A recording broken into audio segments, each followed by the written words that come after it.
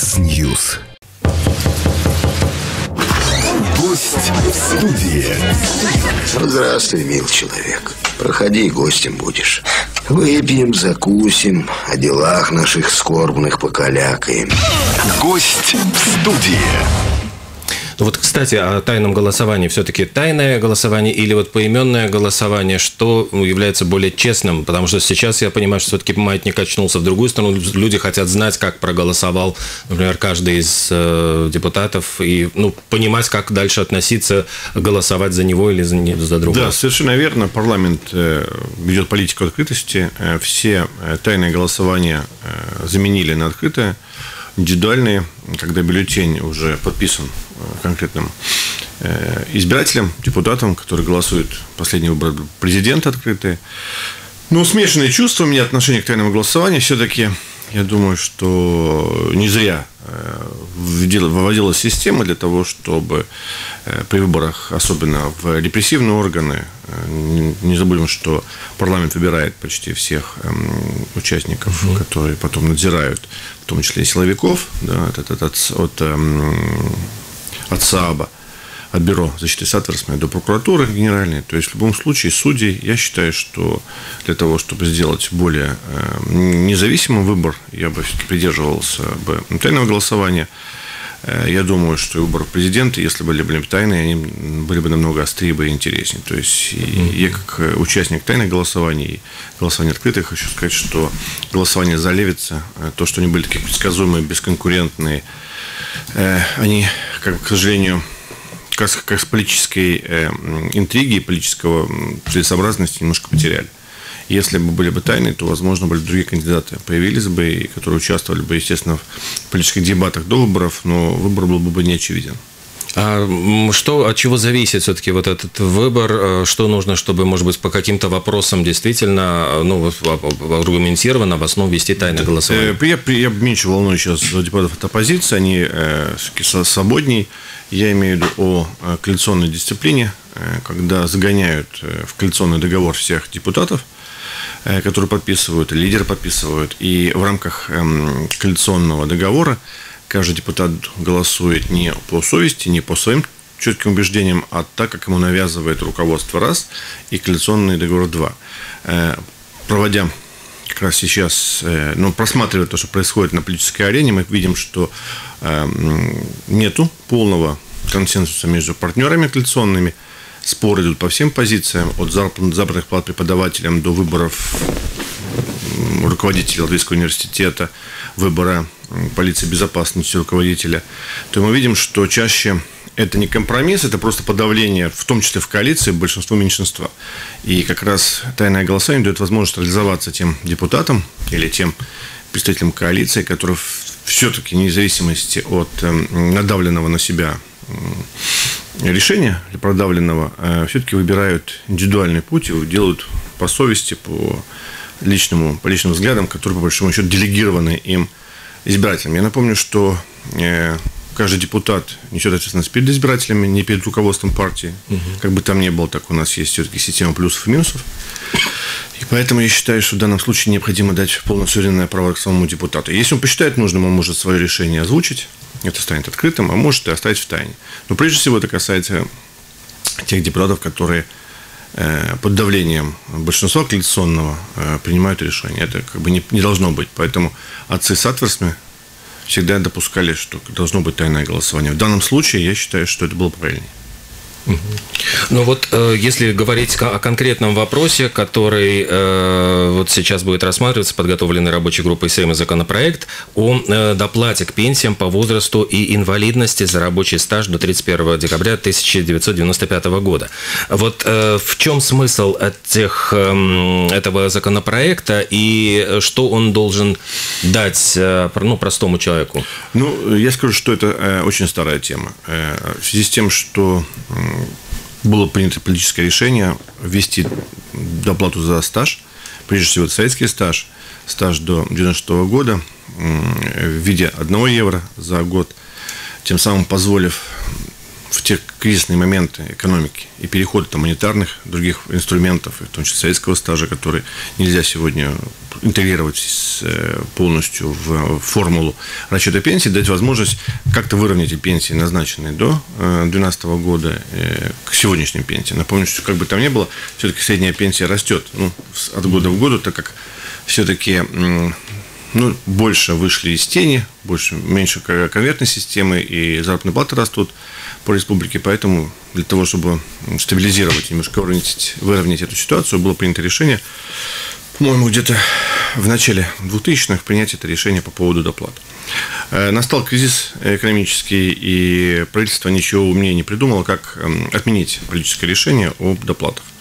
Э, я лично с коллегами подготовил иск в Конституционный суд, и мы его подали, но, к сожалению, проиграли. Но в этом, и в этом решении Конституционного суда было четко прописано, что это э, политическая норма, которая вводилась для улучшения благосостояния населения, должна была быть вернуться в законодательство после выхода страны из кризиса. Сегодня у нас стабильный рост экономики, и бюджет уже почти 9 миллиардов, и я не вижу никаких э, каких-нибудь сдерживающих моментов для того, чтобы вернуть это политическое решение о доплате.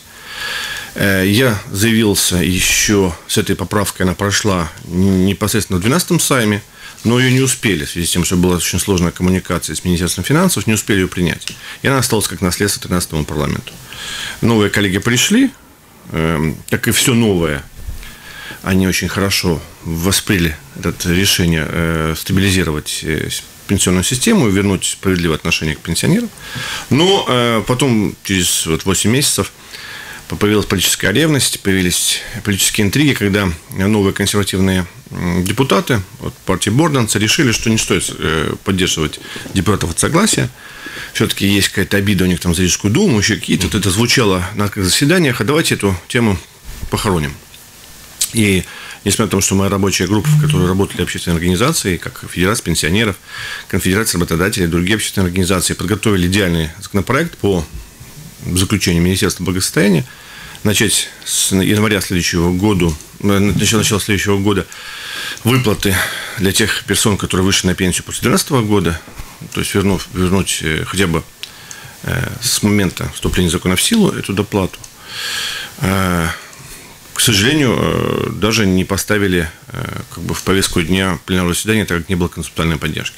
Напомню, что я договорился с министром финансов, который действительно тоже поддержал, как бывший министр благосостояния. Янис Райерс поддержал эту поправку, сказал, что э, если на будущем году, если мы начнем ну, постепенно эту поправку вводить, то есть не сразу всем, а тем, кто вышел в 2012-2013 году, в 2020, 2021, там, 14-15 год, то он, в принципе, поддержал. Это стоило бы около 10 миллионов в первый год, потом 15-30 миллионов по годам. Но в любом случае э, он прекрасно понимает, что здесь э, борьба с бедностью как раз э, и ярко проявилась, то как бы в среднем это дало бы каждому пенсионеру, который попал под эту поправку, порядка 27 евро потом бы эта сумма еще бы э, э, индексировалась. В любом случае, мы как бы выходили на какие-то нормальные человеческие э, отношения в комиссии по отношению к тем людям, которые были лишены этой доплаты. И попав в такую сложную ситуацию, я уже понял, что здесь нет другой возможности, как я обратился к министерству, к министру благосостояния с просьбой все-таки забрать эту поправку себе и отказывать всех от авторских претензий, пускай он ее двигает в бюджетном пакете. Да, министр молодой, э, без опыта, ну, понимает, что конъюнктура складывается, или ты не создаешь новый продукт, то есть делаешь, mm-hmm. или забираешь полную разработанную поправку со всеми аннотациями себе. Ну, мы договорились, что я ей передал этот документ, и она э, поставит его в бюджетный пакет. Насколько я понимаю, что у нее в министерстве единодушное решение, что документ надо двигать. Если она убедит коллег э, в кабинете министров, а насколько я понимаю, там тоже как бы большинство все-таки за эту поправку введения, то тогда где-то к концу года мы получим эту редакцию в бюджетном пакете, как сопровождающий документ. К сожалению, не, не вступит она в силу до 1 января следующего года, а середина года, так как технически не подготовится, не, не успеет подготовиться агентство социального страхования к этому. И тогда мы начнем поэтапно, год за годом, Э, гасить эту несправедливость и возвращать, ну не возвращать, а вводить эту доплату для пенсионеров, которые вышли на пенсию после 2012 года. Это сумасшедшая цифра, это 127 тысяч пенсионеров, угу. из них по возрасту 20% получает меньше 200 евро. Представляете, а если мы говорим по пенсиям по инвалидности, то это 22 тысячи пенсионеров-инвалидов, это 80%, которые не получают даже 200 евро. То есть, а о какой доплате сейчас идет речь? Примерно 27. 30 ну, евро. 27-30 евро это будет э, для каждого пенсионера. Это для тех, кто вышел на пенсию после 2012 да, года. Но это, это и за сум... ста... это за стаж угу. до 90 -го года, в зависимости, сколько у вас стажа. То есть, если вы работали э, достаточно усердно в этот год, то это будет больше, а если будет меньше, то а и... сам, сам институт э, пенсии, он э, вообще не вымирает? Ну, то есть мы сейчас платим хорошо, за нас платить уже будет, скорее всего, некому, потому что население стареет и уезжает. То есть я, например, очень скептически отношусь вообще. То есть сколько накопил, столько и будешь тратить. Ну да, сейчас работает э, принцип солидарности, то есть наши налоги, которые мы платим социальные, да, или взносы социального страхования, они сейчас как раз идут на погашение э, тех взятых обязательств государством перед пенсионерами сегодняшними. В будущем э, есть три источника пенсии, которые, возможно, поддержат нас. Это, опять же, солидарность, та, которая э, будут платить налоги работающие в тот момент. Второй пенсионный уровень, который мы сейчас создаем своими взносами. Ну и третий, есть возможность сегодня эм, в частных пенсионных фондах сделать какие-то взносы для того, чтобы в будущем поддержать. А вы как делаете? Ну, я обязательно э, первый, второй уровень, да, это никуда не денешься от этого. Третий пенсионный уровень, и я не участник, э, ну, как бы не добрался к этому, к, к финансовой составляющей, насколько это будет выгодно. Но в любом случае, я скажу честно, что если к нам сегодня не приедет примерно 300 тысяч работающих, которые будут реально платить налоги, то будут проблемы с пенсионным а в насколько, будущем. А насколько... Но сегодня проблем да. нет. Я сразу успокою всех радиослушателей, получателей. Сегодня мы платим намного больше, чем тратим. У нас порядка 800 миллионов сегодня профицит – это неплохие цифры, это первый раз в истории Латвии э, у нас довольно хороший профицит, то есть в любом случае сегодня система позволяет даже увеличивать какие-то пенсии. Я считаю, что э, можно даже увеличивать намного э, активнее. Я вообще бы тратил бы ежегодно дополнительно на всевозможные новые виды доплат к пенсии, порядка 50 миллионов, ну, для того, чтобы поддержать действующего пенсионера. И это бы, скорее всего, бы немножко стабилизировало систему. Но сегодня есть такая очень нехорошая практика у государства, очень нехорошая, когда проблемы государственного бюджета э, гасятся за счет социального бюджета. То есть, если у нас с вами профицит социальным порядка миллиарда, ну, округлим, да, то в государственном бюджете дырка бюджетная в полтора миллиарда. И вот один, этот миллиард, ну, технически занимается у пенсионеров без процентов. Это, конечно, ужасно. А, а почему у нас э, не снять, например, пожизненную пенсию экс-президентам? Пусть работать идут. Но они же такие деньги тратят огромные. Их ну, много, они живут, и живут они достаточно хорошо, тратят они много. А тут 127 тысяч получает меньше 200 евро. Нет, я, я с вами согласен, что возможно... Это нерациональные не... траты какие-то. Да, да, 4 но, года, 4 начнем, года начнем того, да, что... и 20 лет да, ничего не делаешь. Я согласен, но ну, они получают пенсию из госбюджета, не из социального бюджета, то есть не за счет пенсионеров. Э, э, это было политическое решение, это была социальная гарантия для э, президентов для того, чтобы они чувствовали меньше политического давления. Я согласен, и э, парламент э, существенно сократил социальные гарантии для президентов. Напомню, что Вейнис первый, который идет без квартиры, и это уже как бы порядка, порядка полумиллиона экономии. Напомню, что предыдущие квартиры экс-президентам обходились нам в круглые суммы, так как они требовали и ремонта, и мебели, и все остальное. То есть в любом случае, да, мы уже пошли по пути сокращения соцгарантий. То есть вот можно сказать полмиллиона и 10 миллионов, э, ну, в принципе, уже такие сопоставимые суммы, это то, что потребуется для того, чтобы... Ну да, но мы как бы как государство приобретало, например, э, квартиры э, не в собственность президента, то есть это как бы угу. переоборудовались квартиры, которые находились в государственной собственности. Напомню, что агентство э, недвижимости, государственное агентство очень большое, и у них очень много...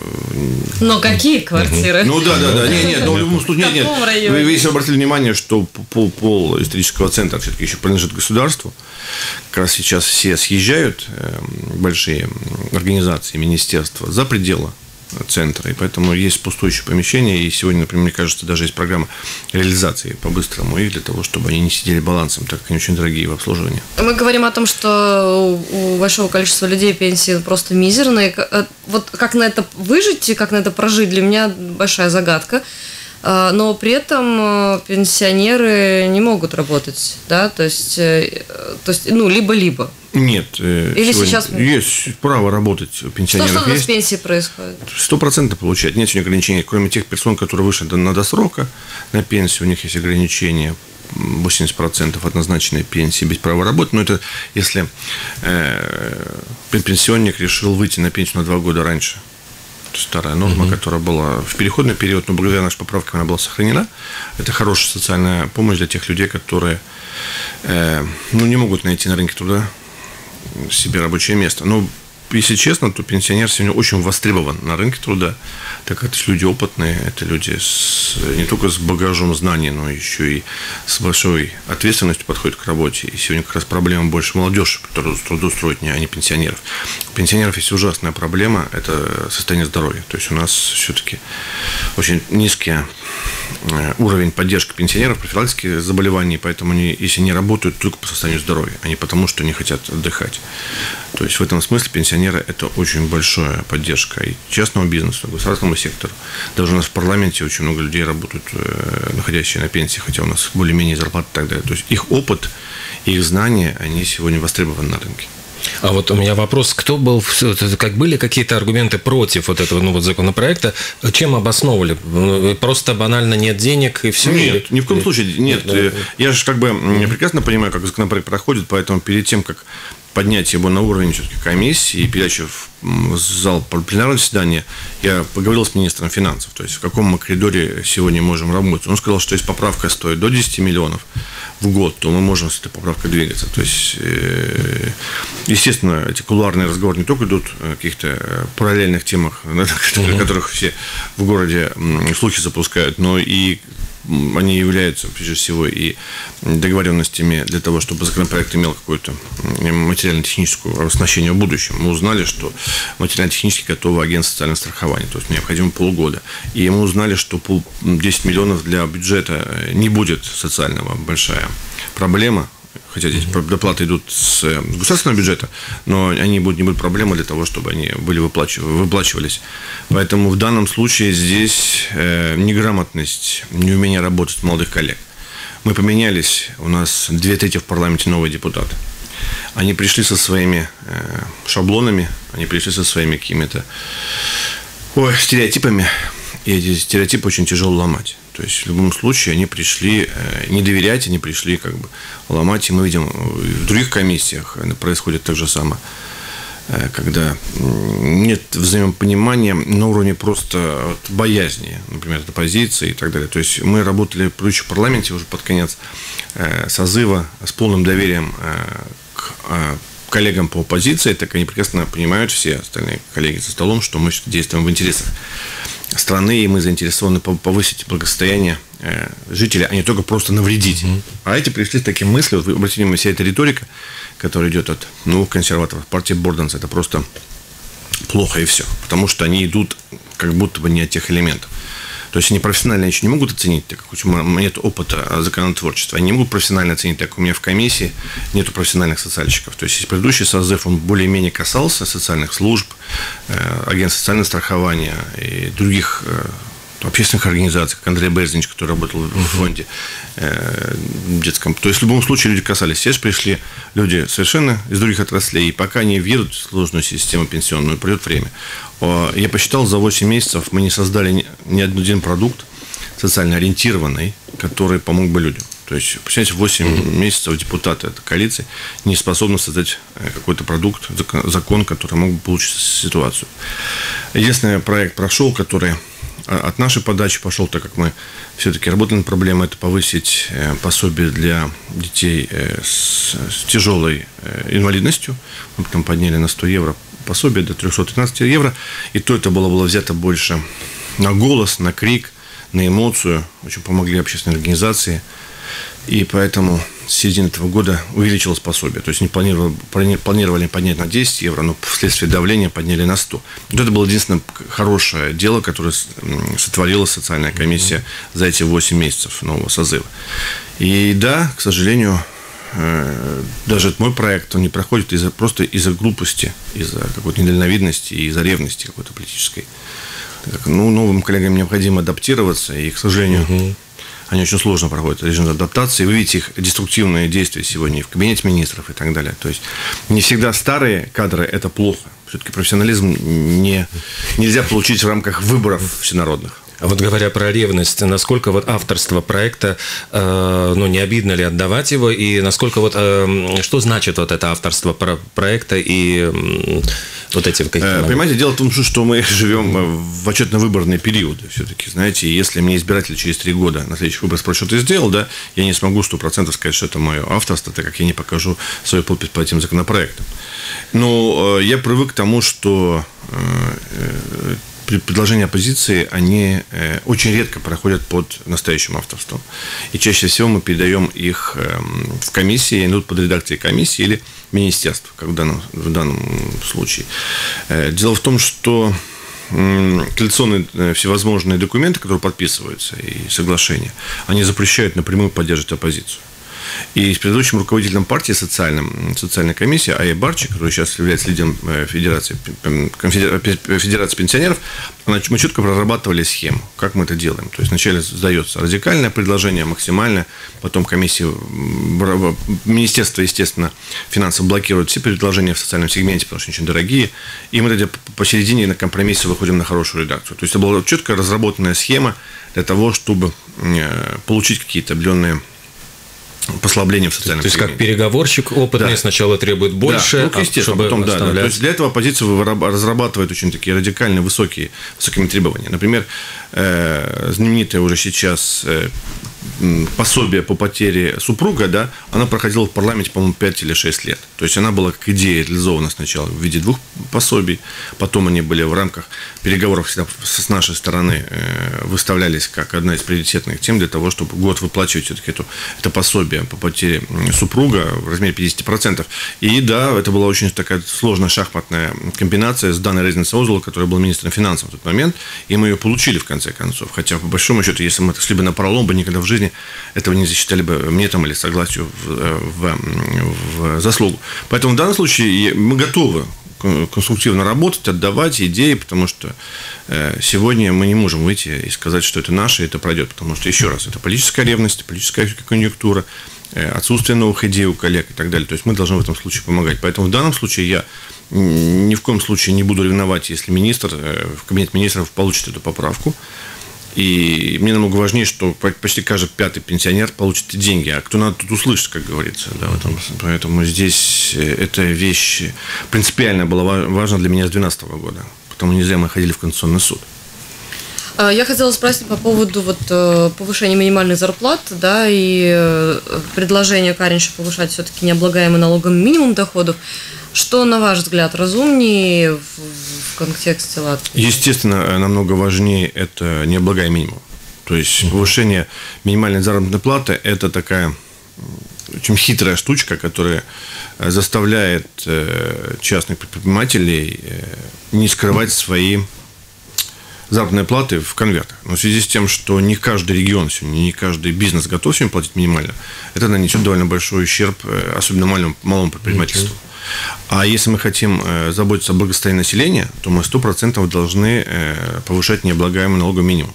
Это то, что остается у людей на руках. То есть, э, и не залезаем в карман бизнесмена. Сегодня в Латвии в бизнесу и так сложно, так как у нас самый высокий налог на рабочую силу, у нас самые высокие налоги и всевозможные прибавки к электричеству. У нас продукт создается очень дорого в Балтийском регионе. И поэтому в данном случае, если государство хочет реально э, помочь людям, которые работают э, за минимальную заработную плату, то есть они тут должны быть шаг сделать, что прежде всего необлагаемый минимум для всех работающих, плюс доплату за иждивенцев. Всевозможные э, доплаты за то, что у тебя в семье дети и так далее должны быть через необлагаемый минимум. То есть здесь вариантов нет. И в данном случае здесь опять же популизм и неграмотность людей. Минимальная заработная плата, она прежде всего помогает налогам. Вы прекрасно понимаете, чем больше мы бизнес зажимаем наверх по, по зарплатам, тем больше они платят налогов. Тем самым здесь такая очень некорректная позиция со стороны консерваторов, которые по большому счету хотят, может быть, что-то хорошее сделать, они понимают, то, что людей это не коснется. Как вы думаете, какое решение будет принято в итоге? А у нас, знаете, такой интересный кабинет министров сегодня, они все откладывают. Мы сегодня с коллегой говорили то, что они настолько да откладывали, что решили первый раз в истории Латвийской Республики сделать за 30 лет, сделать все отпуск летом. То есть у нас э, кабинет министров работает ну, в режиме каждую неделю заседания. То есть в любом случае, если какому-нибудь министру необходимо отдохнуть с семьей, то он пишет заявление, и человек спокойно пропадает там, на недельку, на две. И премьер может уехать. То есть они взаимозаменяемые. То есть доклады может там не делать по культуре, а сделать больше акцента на экономику. И две недельки на этом продержаться. Первый раз они настолько, понимаете, не уверены в себе, и им легче ничего не делать, чем, чем, чем встречаться вместе, дискутировать по этому поводу. Поэтому я считаю, что сегодня самый, ну, такой, знаете, вот Нерешительный. Ну, да, да, такой, знаете, стеснительный, нерешительный, потому что первый раз в истории премьер э, э, сегодня с поддержкой 8 мандатов в парламенте. Ну, это же вообще смешно. У него ни одно политическое решение невозможно протянуть через парламент, так у него 8 депутатов, меньше 10%. И, и он такой, знаете, он такой будет лапочка, хочет со всеми хорошо и по-хорошему. Что он говорит, хотите в отпуск? Давайте разойдемся. И разбежались. Все премьеры предыдущие очень критиковали это решение и считают его в данной экономической ситуации, когда у нас очень много отложенных вопросов, в том числе экономических, нельзя было делать. У нас прекращается финансирование и, евро, и европейских денег в 2020 году. То есть у нас необходимо создать продукты. Ну, и сегодня, после года работы парламента, когда необходимо загружать его работой, да, ну, это очень такая роскошь недопустимая. Это возможно только где-нибудь в Люксембурге, когда, когда они могут уходят, уходят в отпуск. В данном случае я считаю, что кабинет министров очень такой нерешительный, э, сложный. Это все, что они откладывают. Обратите внимание, у них предыдущий бюджет был технический. Ну, мы это не виноваты, это Кучинский написал. Потом у них сейчас, оказывается, все сложные вопросы откладываются на 2021 год. Вот ваш вопрос очень правильный по поводу минимальных заработных плат и неблагая минимум. А давайте в 2021 решим. Угу. То есть они не понимают, что люди живут сегодня, им необходимо сегодня какие-то вещи. Они все откладывают, а потом. Это самое ужасное, как бы. А потом там что-то поменяется, пусть другие решают. А потом забудут да? и так далее. Они, они даже не могут сказать этим э, консерваторам, что это глупость. Э, весь бизнес от малого до большого, то есть все общественные организации, которые консолидируют э, мнение бизнеса, сказал, что повышение заработной платы для них сегодня это смерти подобное. Региональщики, которые работают, кое-как ковыряются по региону, они тоже сказали, что это тяжело. Э, и правильное решение было, если вы хотите помочь людям, помогайте за счет не нас, бизнеса, который так или выкарабкается, а за счет э, собственных налогов. То есть повышайте неблагой минимум. Нормальное решение. Мне это не говорят, ай, потом тогда решим. Это, я говорю, что это очень нерешительное кабинет министров, который, по большому счету, он даже не стагнирующий, он так еще и ну, Рефле... ну как рефлексирующий. Рефлексирующий, да, который вроде бы есть, и вроде бы нет. Он пропал на месте, никто, никто даже не заметил. Месяц. А вот этот месяц, можно ли вообще по WhatsApp руководить страной? То есть, вот, ну, собирая какие-то конференции через Skype, там... По чатикам. Да. Я думаю, что нет. Ну, чиновники работают, то есть, и парламент работает, есть какие-то вещи. И бюджетная комиссия, так как сегодня идет активная работа над бюджетом будущего года, нам необходимо э, его к сентябрю уже подготовить. Нельзя будет так уже затягивать, как в предыдущем, до, до, до апреля почти. То есть я считаю, что сегодня кабинет министров должен был работать э, довольно в таком жестком режиме для того, чтобы бюджет был бы как бы э, прогрессирующий и положительной динамики, так как все-таки мы должны допустить, что все-таки финансирование европейское может пропасть. Сегодня мы видим, э, ремонтируются дороги, мы видим, что ремонтируются фасады зданий и так далее. В городе мы это все видим, но это за счет, опять же, софинансирования европейского, и что мы будем делать, если оно пропадет. А почему этот вот откладывается на последний момент? Мы что, изначально не знали, что оно пропадет?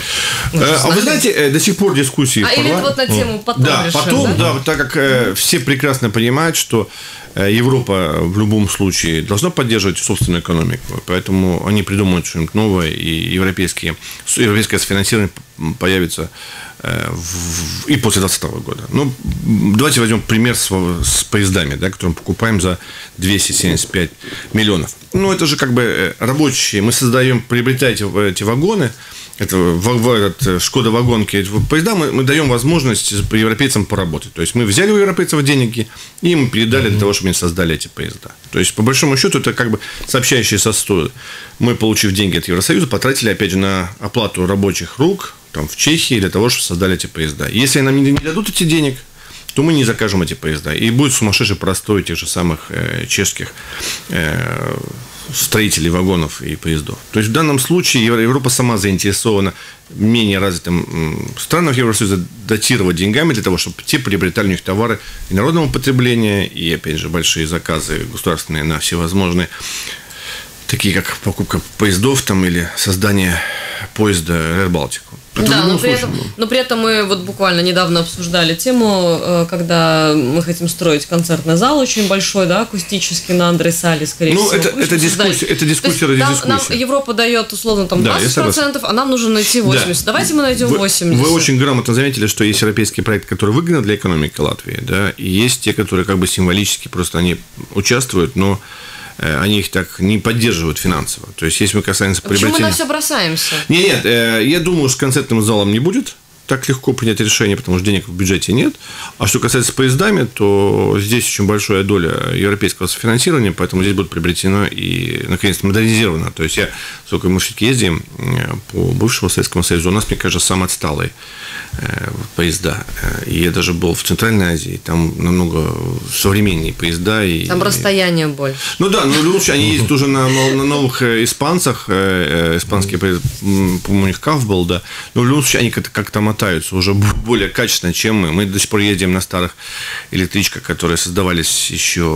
Вместе с Пугачевой. В предыдущем веке, как говорится, да. То есть в данном случае модернизация не только выгодна для пассажиров, но и для экологии, для инфраструктуры и так далее. То есть в данном случае, если европейцы по, по, в этом поучаствуют, то будет хорошо. Но они, опять же, со своими деньгами создали занятость у себя на территории. Так, в любом случае, этот поезд создает, мне кажется, весь, весь Евросоюз, так как составляющие вещи, комплектующие делаются на других заводах. А вот э, э, еще вопрос по поводу отпуска Сейма. То есть э, решение о том, что вы уйдете на, в отпуск на месяц почти, он как, это когда было принято? Нет, нет, это кабинет, кабинет министра ушел. Это кабинет министра. Парламент работает парламент нормально. Работает. Да, парламент работает Слава нормально. Нет, все, все в порядке. Все это в порядке. Мы сейчас, да, мы сейчас работаем э, в таком дежурном режиме, э, то есть, э, и я знаю, что у коллег по бюджетной комиссии, по-моему, завтра заседают, понедельник э, было заседание и следственной комиссии. То есть в любом случае я коллег на работе вижу.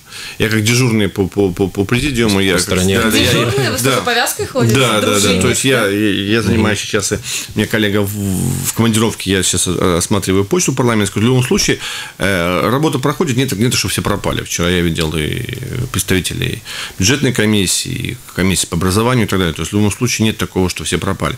Но активной деятельности, о которой мы говорим, что вот в динамичном режиме для того, чтобы каждый день принимались решения на благо народа, к сожалению, сейчас угу. не происходит. Ну, отпуска есть отпуска, и я думаю, что некоторые коллеги используют. Ну, вот 300 пропасть. тысяч, э, мы говорили все время, что денег нет в стране, но 300 тысяч евро будет выделено для чиновников на обучение французскому языку. Естественно, ну, когда мы обсуждали, это вызывает, ну, у рядового человека какую-то, ну, негативную реакцию. Боже мой, а почему должны их учить, и почему именно французскому? Ну, вот как будто бы нам в госканцелярии объяснили, что, да, французский язык, язык дипломатии, но не слишком ли дорого вот получается, потому что что даже если тысяча чиновников, получается 300, ну, или, по мне, речь шла про 300 человек, то есть это по тысяче на каждого выделяется.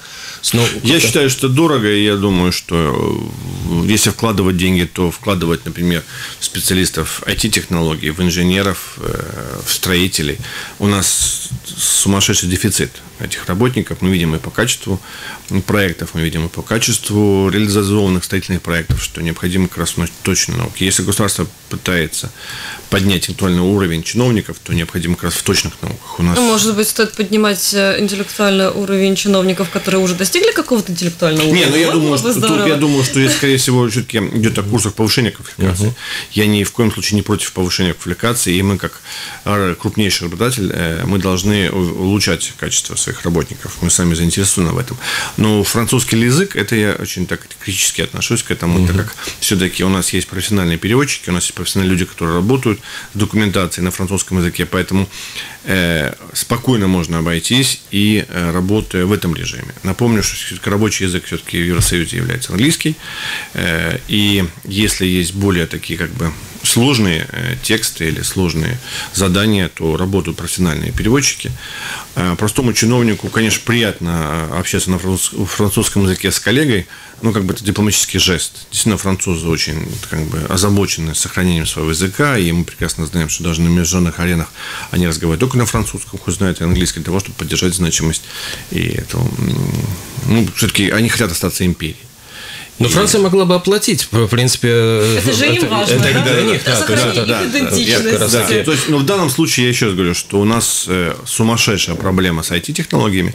И в парламенте, я знаю, и в кабинете министров, в других министерствах у нас не хватает айтишников. И я, конечно, эти деньги предложил бы на обучение и повышение квалификации этих людей. И притом э, ограничил бы с, с их э, трудовым договором, чтобы они не могли уйти, например, в, В при- при- лет, в приватный например, сектор. да? То есть, да, эти деньги необходимы, потому что э, мы видим, что и по э здоровью, да, были большие проблемы, так как люди, работающие в госсекторе, не понимали задач.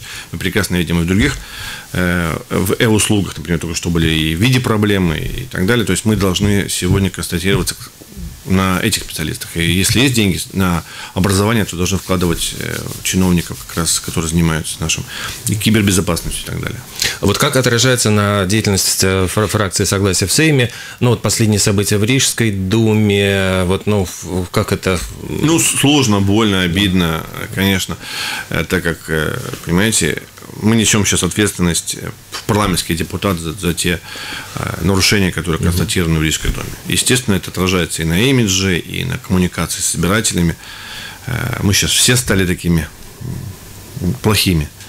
Э, Ну, я надеюсь, э, что самоочищение пройдет. Действительно, когда ты являешься крупнейшей политической силой, то в твоих рядах есть и предатели, провокаторы, и прилипалы, как назвали вчера. Естественно, очень много людей пришли э, туда без идеологии, а для того, чтобы получить э, побыстрее власть, побыстрее какие-то реализоваться как личности и так далее. То есть в любом случае, в данном А случае... это о ком вы сейчас говорите? Мы говорим о тех людях, которые, как бы, по большому счету, не выполнили свои обещания перед избирателями, покинули ряды согласия в Рижской доме. То есть, как бы там ни было, то если меньшинство покидает, а большинство осталось, то есть проблема в меньшинстве в данном случае.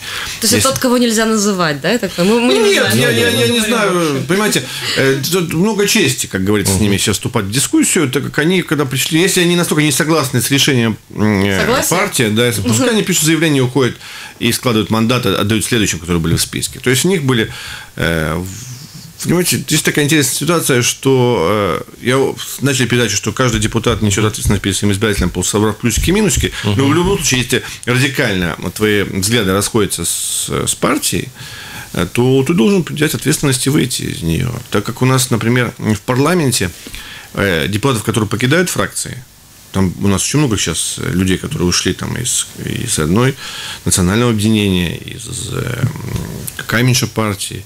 Э, То есть они остаются без э, материально-технической базы. То есть у них нет ни, ни, ни, ни- транспорта, у них нет ни консультантов, у них нет ни секретарей, у них нет возможности участвовать в некоторых заседаниях.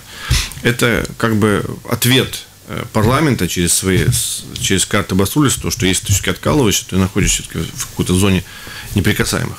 А в Думе как-то получилось так, что те, кто откалываются, они создают св- свои фракции, получают все самые э, те же блага, что и большие списки, которые выиграли выборы, и тем самым еще влияешь на политические процессы. То есть влияешь как, что твои голосы решением. голосом, Да, ну, говоря. я не хотел Ну, да. говорить об этом, да. Ну да, влияешь на политические процессы. И сегодня от решения этих людей зависит, будут выборы, не будут перевыборы. Мы готовы перевыборам, ничего страшного не произойдет, но опять же это потраченные ресурсы. Я только что сказал, что вхождение э, в выборные органы людей без опыта, без знаний, они дают какой-то процесс адаптации, который, по большому счету, отражается на людях. Вот, ну, вот я прохожу сейчас с коллегами этот процесс, и мне вот 8 месяцев маленького застоя, так люди непрофессиональные. То же самое будет и в Думе. Если мы их сейчас их переизберем, пройдут процесс м, перевыборов, то получится, что э, они дорабатывают же этот, э, этот, свой цикл политический, то есть два года. Есть, по большому счету мы их переберем, через два года опять выбирать. То есть, в любом случае, это ресурсы потраченные. По-моему, выборы стоят больше миллиона в общей сложности для бюджета. То есть, я не вижу никакой необходимости их сейчас проводить. Но если они загонят сами себе на дерево, как говорится, то, без сожаления, парламент примет решение о распуске, введении администратора и впоследствии новых выборов. То есть, в данном случае, если ты настолько принципиально против партии, то, пожалуйста, партийный билет, мандат и давай параллельных организациях создавай все, что хочешь, и стартуй на выборах. У нас на самом деле разрываются телефонные линии. Может быть, мы Конечно. все время, все время просто ну, настолько был. Да, здравствуйте, пожалуйста, доброе утро. Ваш вопрос. Алло. Все. Чего-то человек звонил, звонил, но Передумали. да, передумал. Наверное, ответили на все вопросы. А как выборы в Европарламент? То есть, ну вот э, тоже сказались на работе партии, ну то есть это ведь какой-то тоже, эм, ну в, в Да. момент, да, вот когда должна Совершенно верно. пройти Э, проверку. Я напомню, очень было серьезное давление со стороны масс-медиа, и избирателей, и коллег, когда они сказали, что Сасканев закончилась, э, рейтинги начали падать, но выборы в Европарламент показал, что все-таки избиратель, э, он оценивает не ту политическую риторику, не тот мусор, который появляется э, в масс-медиа, в том числе и заказные вещи, против нас, он оценивает как раз э, конкретного человека. То есть количество плюсиков и количество мандатов, которые мы получили, он выше, чем были в предыдущие годы. Напомню, что мы получили два мандата, давно такого не было, при том, что еще и партнеры по политическому спектру, э, Татьяна Жданок тоже получила мандат. Поэтому в данном случае я больше бы волновался за тех коллег, которые проиграли выборы, те же самые консерваторы, которые хорошо вошли в парламент, но не, не взяли ни один мандат. И мне кажется, эта истерия тоже связана с тем, что они теряют свой электорат, своего избирателя. И, конечно, Каймич полный провал, полная фиаско, которая крупнейшая фракция была у него в парламенте. Сейчас, наверное, меньше стало много людей э, у него депу- депутатов, но тоже э, не получили даже и одного мандата. Да, это показывает то, что сегодня избиратель очень четко отслеживает не только то, что вы обещаете, там, три раза по 500, но и то, что делается. Поэтому в данном, опять возвращаясь к теме пенсионного закона, я говорю, что люди оценят, если получат э, в ближайшее время доплату, то они все-таки вспомнят, кто это об этом говорил, для чего это начиналось все, а не того, кто обещал просто. это. Поэтому в данном случае я очень жестко критикую во, всем, во всех форматах работу комиссии и как раз работу консервативной партии, так как они сегодня даже 10% из обещанного не сделали. То есть они вообще, по большому счету, ничего не сделали, то, что обещали. Хотя у них была самая агрессивная э, кампания как раз социального сегмента. То есть они обещали действительно реальное повышение пенсий, и пособий, и всего остального. То есть, обещав, они не подготовили э, нормативную базу. То есть, кроме идеи просто повысим, необходимо еще создать э, продукт, назовем закон, где четкие есть расчеты, аудитория, э, сроки, э, аннотация, бюджетные затраты и так далее. Вот это не считается этот продукт. Он долго создается, это не очень быстрое дело, но в любом случае никто из них не пришел с таким готовым продуктом. Идея «давайте сделаем меньше бедных, больше богатых» – это в любом случае не э, продукт, который реализуется в парламенте. Да. Ну, вот еще раз все-таки попробуем. Здравствуйте, пожалуйста. Доброе утро. Ваш вопрос. Да, здравствуйте. У меня вопрос конкретный вот к человеку. Э, Скажите, вот эм, по поводу закупки новых этих э, поездов. А проект Сканстас, он что, замораживается, что ли? Он тоже нужен, по идее. Там вот это вот, вот район развивать тоже было неплохо бы. Там Я, так- я- я да, да. я совершенно согласен, что э, сегодня э, Рига э, должна транспортно развиваться, инфраструктура намного активней. Э, переход на общественный транспорт для города более выгоден, чем частный транспорт развивать, э, особенно в историческом центре. Да, к сожалению, э, деньги, которые Евросоюз обещал нам на развитие улицы Сканстес, перевели на ком- компенсацию при закупке электропоездов. То есть Еврокомиссия разрешила делать перевод денег. Это как бы одно общее, общий, общий кошелек транспортный, так называемый. И действительно замораживается проект или не замораживается, сложно сказать, это депутатам Думы, к министру. Я знаю, что не будут развиваться, и я знаю, что деньги перевели, э, то как э, необходимо их реализовать на приобретение э, поездов и на ремонтную базу этих поездов. Ну что же, Въезд в старый город будет плат? В Ригу будет плат? Ну, в центр. Я надеюсь, что нет. Ну, Э, э, если, если мы говорим о развитии общественного транспорта, ну, потому что невыгодно развивать Вы частный транспорт, да. и все говорят о том, что да, Я- и я- станут под парковки я, там я- невероятно я- я- я- я сторонник все-таки не репрессивных методов. Он должен быть настолько привлекателен, приятен, что Значит, вы, что вы, что вы, что вы должны добровольно отказаться от личного транспорта и пересесть э, на э, общественный транспорт. Это вообще реально? Или какая-то... Реально, конечно, потому что как мы, мы, мы же не, не уникальная столица. То есть во всех э, столицах такая проблема есть. Э, Но дело-то в том, что все решают ее как раз через эти... Понимаете, очень много людей выехали из Риги в пригород. Да, мы видим прирост населения в пригороде, поэтому мы должны этих пригородных э, товарищей, которые живут в пригороде, просить оставить машину на границе, то есть создав им условия, инфраструктуру, и чтобы они пересели на общественный транспорт, доехали. Я, я, я вижу э, в пригороде некоторые стоянки, которые совершенно нелогично стоят около магазинов, они забиты почему-то. Я думаю, неужели такая большая посещаемость магазина? Нет, скорее всего, люди добираются до каких-то определенных точек, например, ну, МОЛС, да, никто, никто не будет скрывать, что около МОЛСа люди оставляют машину, пересаживаются на общественный, едут, э, потому что как, как, как за МОЛС заезжаешь, моментально начинается э, дорогая парковка за там, не не 5 евро в час, поэтому, естественно, людям выгодно оставить ее там. Э, Да, и, но муниципалитет должен заниматься этой проблемой, и чтобы не было проблемы и перекладывания этой ответственности на магазины, а должны создавать такие буферные зоны для того, чтобы люди оставляли и красиво могли добраться. И распространение должно быть тоже синхронизировано тем самым часом пик, когда люди въезжают в город. Ну, на самом деле, вот нам показывают, что, к сожалению, время заканчивается в нашем общении. Депутат Сейма от Согласия Андрей Клементьев сегодня был у нас э, в студии. Спасибо большое. Спасибо.